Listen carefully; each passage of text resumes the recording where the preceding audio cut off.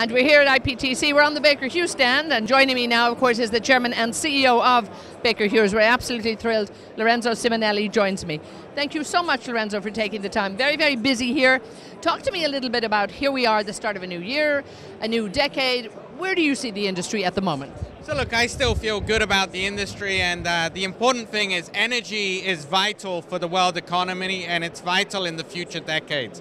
When you look at the growing population, you look at the growing needs for the middle class, energy is going to be continuing to be at the center and forefront.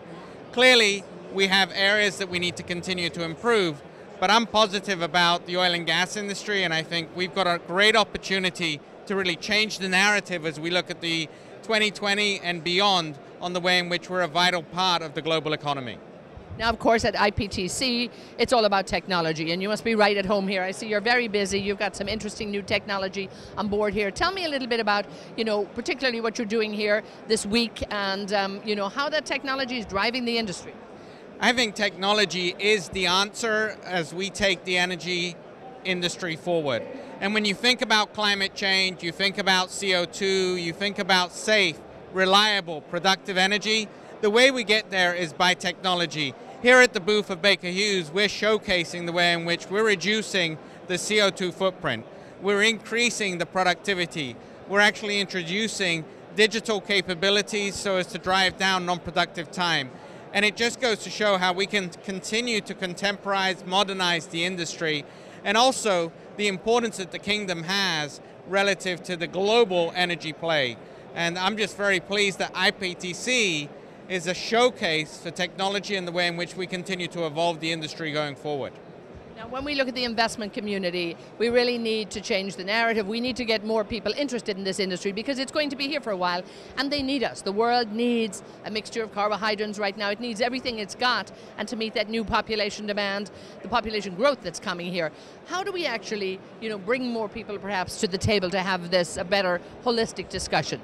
Well, I, I, mentioned it yesterday on a panel, and I think uh, we're the industry that uh, many like to hate, yet we're actually essential to the globe. And I think we've got to take on the discussion and actually have a much better education around the benefit that gas can play in the energy transition, the way in which we can actually reduce the CO2 footprint. We've got capabilities, and at the end of the day, we're part of the energy mix, and we're going to be part of also the solution to bring down the CO2 footprint. We've got to be out there and we've actually got to engage with many more people and start to educate much better about what we're doing and be at the forefront versus taking a step back.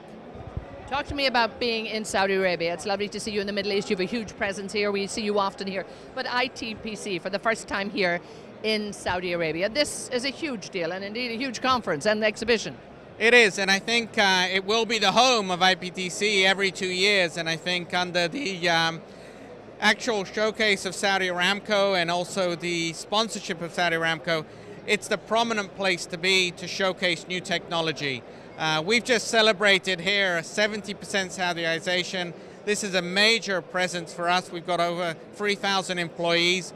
And look, when you think about the energy resource of both oil, gas, this is a location that is very productive, very essential to the globe, and I think attracting a lot of attention. So it's great to be here, and we're strong supporters of IPTC.